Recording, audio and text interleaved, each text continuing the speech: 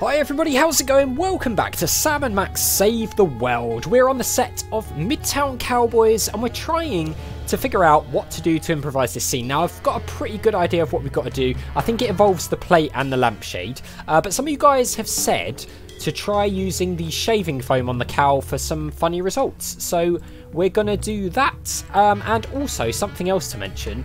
Uh, I was wrong. I misread some of the previous comments. It's actually Max who's got a different voice from this point on in the game, not Sam. So there we go. Thank you for pointing that out, guys. Uh, right, let's stop taping. Let's have another go at that scene, shall we? Places, everybody.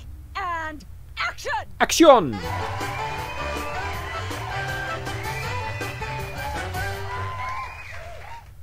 And here we go. up in there. I know you're hiding a cow. We are hiding a cow. Let's uh, use the shaving foam then and see what happens. Some of you guys recommended this. Open up. Has he got a beard? Here he comes. Everyone's favourite chicken. I know you got a. Well, well, well. Who's your guest, boy? It's like spit on his face. Uh, Santa Claus, Colonel Sanders, my agent Uncle Griswold, a cow shaving. It's Santa Claus. It's a jolly old Saint Nick. It is. Ooh, Santa! I want a new semi-automatic pistol with armor-piercing bullets, laser scope, and a picture of Jennifer Lopez engraved on the handle. Of course he does. Really, Santa Claus, butthead. You're shooting a TV show, remember? Cut. Please don't say cut. That's my job. How am I expected to create art if you're not even going to try to perpetuate the farce? He's right, guys. You can do better than that. I mean, I thought it was. Let's get the set back the way it was. I, I thought it was pretty good personally, but it's not what they're looking for. So, uh, let us do it again. Let's start taping. Let's have another go at that scene, shall we? See if you can squeeze in some gross out humor this time. Ready? Action! So I've got I've got an idea. Love the theme song. Okay, so Up in there. what we're going to try this time there be Hiding a light. cow. is to take the lampshade, put it on the the cow's um, head as the hat, Goodness, who left this lying here? and then I'm going to try using the plate on the um, Up in there. The cow I know po- the cow poo and see if that works. So, lampshade on the cow. There we go. Life of the party. Here he comes. Aha! I know you've got a. Well, well, well. Who's your guest, boys? Uh, it is our chef, Abraham Lincoln. It, our chef. It's our chef. This is the French chef we hired to satisfy our inexplicable, insatiable craving for omelets and duck all around. And frog's leg. I like mine extra crispy. Oh, a French chef, eh? I love French bread and, and French fries. I went to Gay Paris one time myself, you know. It was back in my army days. The shaking of the head. Alright, so what I want to do now is try and use the plate on the cow poo. This is what I was going to do in the last one. There we go. I think, did we do that last time? I think we did, but maybe we clicked the wrong dialogue option, maybe? Say, what's this? I- I'm sorry, what was that you said? Uh, Moo, Moot. It's a French tone poem. Moo goo gai pan, a delicious food. Should we do that one? That seems like the type of thing that might get him to try and eat the the poo, which I guess is probably what we're going for for the comedy factor. He said moo goo gai pan. It's a French dish the chef has just made. Oh, super. I'll try some of that. Where's the plate? Uh oh, were we supposed to give him the plate? I can't help but feel this is all terribly wrong somehow. Oh no, okay. I wondered if we had to give. Oh, that's nasty. Interesting. That's one word for it. Hmm. There's a familiar flavor. Fennel, maybe? Kentucky bluegrass, I think. Ah. This Oh, we've moo moo whatever stuff is really good. Uh, what's it called in English? uh. Pie. Really? Well, that's funny. It sounds just like.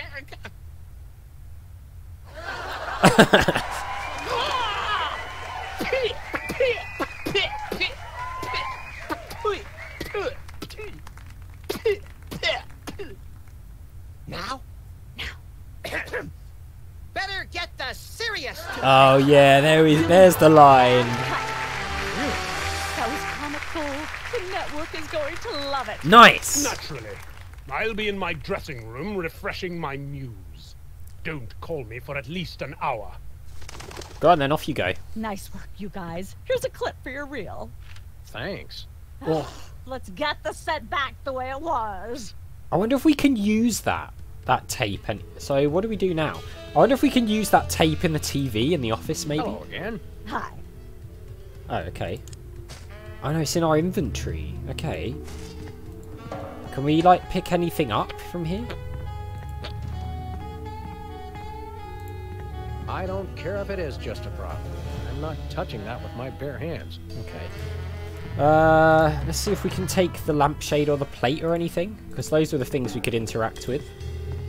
I shouldn't fool with the set while we're not taping the show. Okay, so no. All right, can we go through to the cooking show?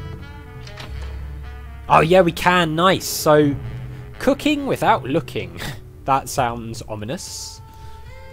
She's here again.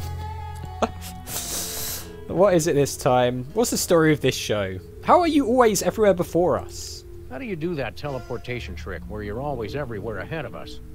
Trade secret, honey. Okay. Uh, how do you keep it so clean in here? How do you keep it so clean in here?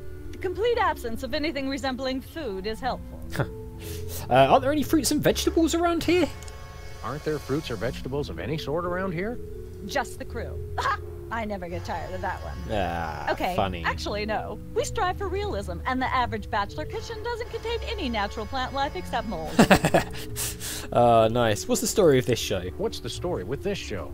cooking without looking? It's a cooking show aimed at motorhead bachelors who have never seen the inside of a grocery store. Wow. Is there a big demand for that? Yeah, You'd be amazed. sounds very niche. Uh, where's the host? Where's the host? Is he in watching the Myra show? No, he's one of the few who isn't. He got food poisoning while he was taping last week's show. Oh. Right in the middle, in fact. Ugh. Was it gruesome? Yes, and unfortunately, this show goes out live. Nice. Can we get a tape of the show? Can we get a tape of the show? this one? No, it's broadcast live. We don't tape it. Okay. Uh, fine. See ya. See ya. Probably. So, can we do anything with this show? Hi, Mom. Or can we... Okay, let's just have a look around then. It's a bucket of lard here. That's enough lard to clog the arteries of a major metropolis. Or start a circus of greased squirrels? Oddly, I rue the day you lost your NEA funding, Max. oddly specific, Max. This fridge isn't even a fridge. It's a fake. What? Dangerous implement. Hey, Sam, can I? No, Go on, let him do it. What's the worst that could happen? it's like a scene from Heidi. How does that bird manage to stay still for so long? Who wants to break it to Max? Welcome to Cooking Without Looking, the cooking show for the typical bachelor kitchen, containing no fruits, vegetables, or healthy ingredients of any sort. Is it starting? The show where we take a random assortment of condiments and barely edible items and create a meal within minutes. Red guy Filling number two. Chuck Flagon this week, these guys. Oh god. Just go with it. Oh, um, hello. Welcome to the show. Thanks, Sam. It's great to be here. Not you, Buckethead. The audience. Oh, greetings, worshipful fans. Remember, the only reason I'm on TV is because I'm better than you. We've got some furious cooking to do, so let's get right to it. What are we oh making, my Sam? god. I, I don't know. A casserole, a cake, chilled summer foie gras, soup with goat yogurt. Um, a, a cake. Today we're baking a cake. Let's visit our rack of ingredients and add flavoring to the flavoring pail. I'm pretty sure that's a pot, Sam. Max, let's leave the cooking to me and the eating to you. Yeah, you can eat it. Oh god. Squid tentacles, wombat secretions, buffalo chips, sulfuric acid, hair gel. Oh, look at the state of this stuff. Uh, let's choose all the dangerous stuff. of course, who can forget the asbestos sprinkles? This stuff isn't just for school lunches. Real kitchens use it Oh, too. that's dark. Um, roof tile shards. Can we say enough about roofing tile shards? Obviously, we can. I mean, I'm just going for the dangerous stuff just purely because I don't know. Uranium No pellets. more than a dash of uranium pellets. They also go great in Chex Mix. Hair gel? Of course, you're going to want a few dashes of hair gel. Don't worry, bachelors. As long as you use it only for cooking, no one will think you less of a man. And sulfuric acid? You acid? want to use the sulfuric acid sparingly. It can easily overwhelm the other ingredients. and your taste buds, and your esophagus. Your esophagus. Uh, yeah, let's, now, do let's we cook. broil it, Sam? Right you are, little buddy. Into the oven it goes. And, through the magic of TV cooking show time, one gorgeous, delicious Wow. cake. Ready to be binged upon or shared amongst friends. Oh boy, let's take it with us. Uh, so we've got a cake. Okay. That's quite an assortment. They must have scoured every toxic waste dump in the state. I, d- I don't know if we had to make like a specific thing there or or what. This is quite realistic. Like that animatronic kid on the Cosby Show. It's a cooler down here. What's this? I think this is one of those cooler things they use on medical shows to transport donor spleens. What's it doing on the set of a cooking show? Some knowledge is better left unclaimed. Probably true. Um, is there anything? There's nothing this way. Let's see. It's doing that armpit farting thing. So, I mean, does she say? Can we get a tape of the show? This one? No. It's broadcast live. We don't tape it. Okay. See ya. Probably. I, I get the feeling that that we perhaps needed to cook something specific there, but how are you meant to know what to cook? Welcome once Oh, again to Cooking Without Looking, the show where we use Okay. absolutely no natural ingredients whatsoever and still make something you guys can choke down. Filling in for the inconveniently food poisoned Chuck Flagon, these guys. Thank you, and welcome to the show. What are we making this time, Sam? I don't know, but uh, nothing. Well, that's all we have time for today. Goodbye, adoring public. Soon I will demand tribute. So, it looks like if we click any of that, then it starts up the. Can we? Can we like literally go? in- Can we do anything? Got this cake. How about some cake? Are you kidding? I don't have time to eat. Can we go anywhere else? So this is back to Midtown Cowboys again. Oh, game show. Oh, there's another place. Who's never going to be a millionaire? Look, Max, there's the door to Myra's set. Let's get Oh. in there and liberate her literally captive audience. Sam, forget the hostages. There's somebody famous. It's Hugh Bliss. Hugh Bliss. Bliss? No, Hugh Bliss. Inventor of prismatology. Helped millions unlock the power of their personal color spectrums. Right, the stage magician turned happiness guru. Like we didn't have enough of those already. I want to meet him. Fine. But if he magically pulls another rainbow butterfly out of somebody's ear, I'm leaving. Fine. You do that. Hi, Hugh Bliss. Hi, I'm Hugh Bliss. Yeah, we know. And you are Sam and Max, freelance police. How do you know? Do you believe in magic? Cause I do. Wow. Uh, what are you doing here? So, Hugh Bliss, what brings you to WARP? I too am here to meet Myra. How do you know we came for Myra? Oh, oh, oh, oh, oh, don't you see? I can read your mind. As the resident doubting Thomas of this crime fighting duo, I consider it my civic duty to say, prove it. Okay, think of something, anything. Uh, Hugh Bliss is a big fat charlatan. Pennies on the eyes of a dead mime. A random number. Six million three hundred seventy-three thousand four hundred eleven point nine eight. wow. Sam? Lucky guess. Was it? Think of something else. Okay. Uh, pennies on the eyes of a dead mime. Pennies on the eyes of a dead mime. Well, I must have been silently mouthing the words. Really? Think of something else. The giggling.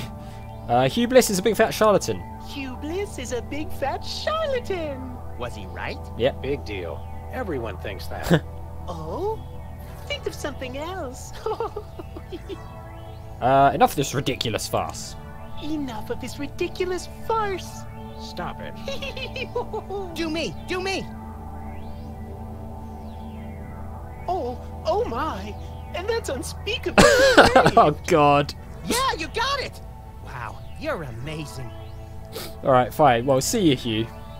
Sorry to interrupt your little joy fest, but I've got a situation here. Never fear, pretty lady. Hugh Bliss is Yeah, here. yeah. Anyway, our game show host went on Myra hours ago and he still hasn't come out. Think you could fill in till he gets back?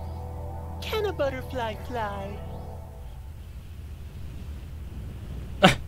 yes, it can. Oh, what do I do? When a contestant comes to the podium, just read him a question from the card. Then, when he gets it wrong, insult him and tell him to get off the stage. Oh, no, no. Prismatology teaches us to love everyone, no matter what. Right, just read the cards. Okay. I still love you. Wow, okay, well, we're going to have to do something here as well, it seems, but we're going to leave it there because we're out of time, guys. So, as always, thank you very much for watching. A big thank you to my patrons Arcades Games, Wayne, Nate, Terminally Nerdy, Paul from the Phantom Fellows, Lyle, Barry Aldridge, and Hobo for all the support on the channel. I really do appreciate it, and I will see you next time.